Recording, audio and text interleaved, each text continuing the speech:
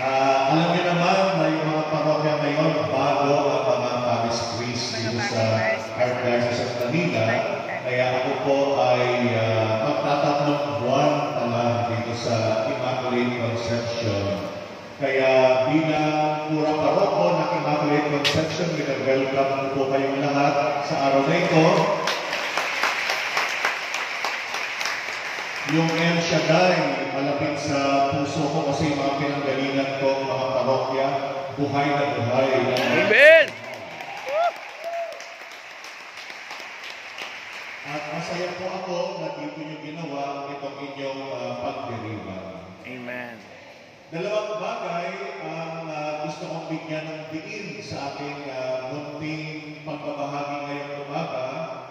Uh, una sa lahat, itong El Shaddai, kung meron man akong na-appreciate, ay itong grupo ng El Shaddai, una, bukod sa buhay na pagsamba at buhay na pananalangin, ay nag-aaral kayo ng salita ng Diyos. Amen.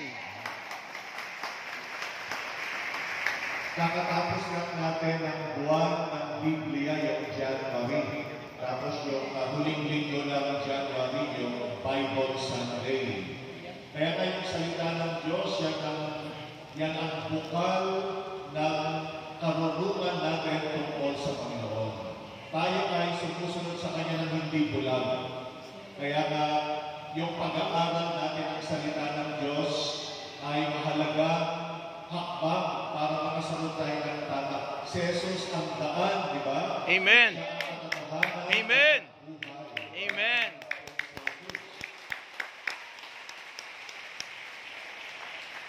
Kaya po, maging masipag tayo mag-aral ng salita ng Diyos. At Amen. ko, itong El Shaddai talaga kasama-kasama yung programa ng formation lalo na sa salita ng Diyos. Isa ka nakikinig din ako sa radyo.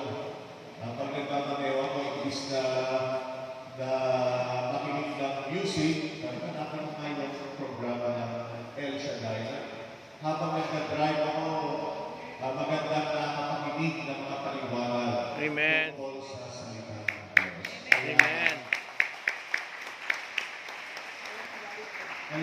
Biblia natin, buksan natin araw-araw. Pagbasa ng salita ng Diyos, magnilay, at lalo na pag-aralan natin yung kahulugan. Kaya nga sa Babae. pamamagitan ng grupo natin, Babae.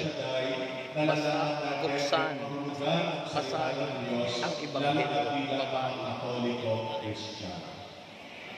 Ikalawa, gusto kong bigyan diin yung gospel natin ng nakaraang linggo. Naalala niyo ba? Ano ba yung gospel natin ng nakaraang linggo? Ah, tayo ay Asin at ilaw. at ilaw. Maganda yung asin. Gusto kong bigyan ng, ng uh, diin yung pagiging asin. Siyempre yung asin, ginagamit natin pampalasa ng pagkain. Amen. Nagkakaroon ng buhay yung pagkain dahil sa asin. Ganyan tayong lahat. At kayo, El Shaddai, asin kayo ng mga parokya. Amen. Kasi nga kung merong isang grupo na buhay na buhay, pagka nagkakaroon ng gawain,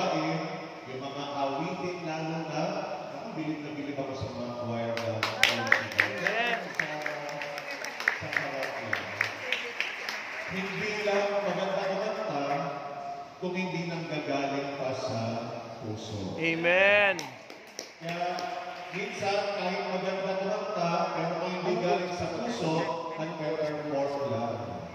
Pero yung magaling kumanta, tapos galing sa puso, yan ang nararapat sa mga pagsapa natin na yung pangalan.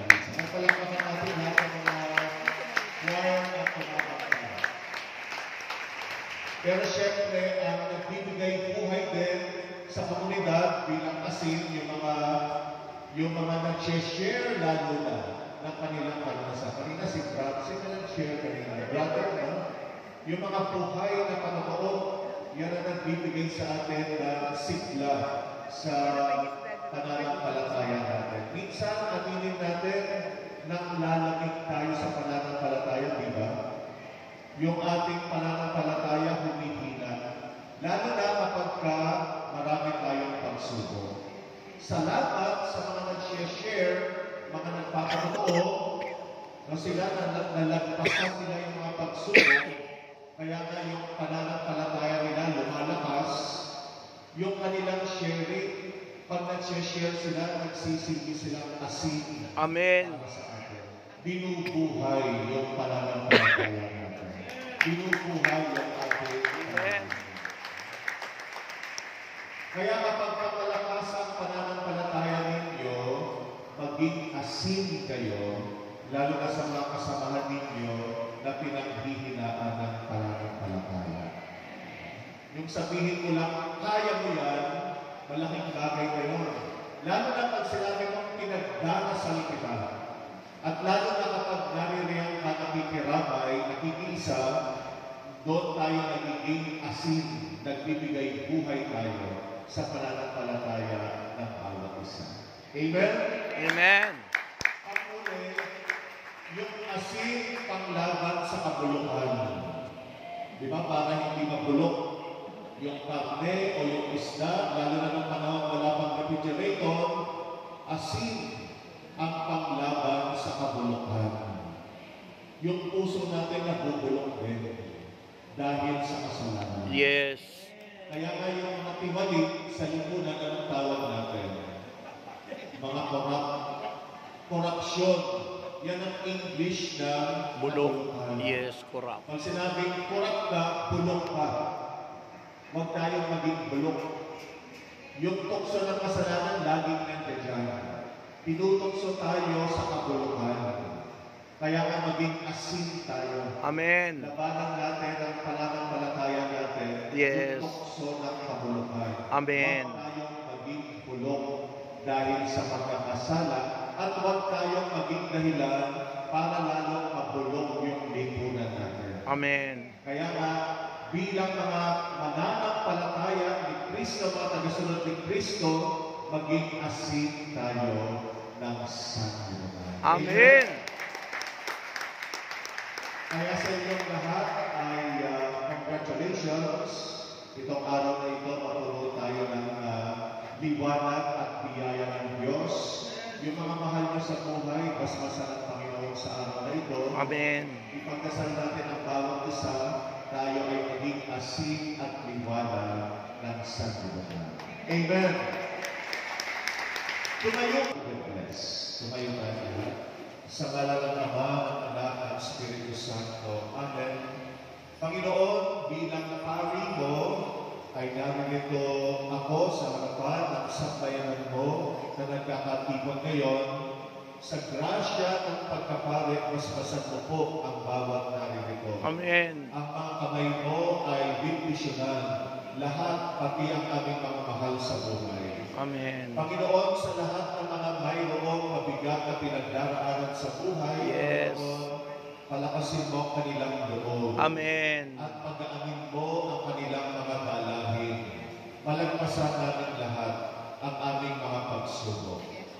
At lahat ng may karamdaman, lalo na ang mga maluluhang karamdaman, pagalingin mo, Panginoon. Amen. Ipuin mo, Panginoon, ng iyong kamay ang lahat ng mga may sakit. Yes. At nawa lumakas muli ang aming pangangatawan Amen. at lalo ng aming Espiritu para makapaglingkod kami Amen. sa iyo ng patuloy. Maraming salamat, Panginoon, salamat sa biyaya ng bawat isa. Lahat kami ay bibisyonan mo sa Amen. iyong pangalan, sa ngalan ng Ama at ng Anak at ng Espiritu Santo. Amen. Palakpakan natin sa iyo.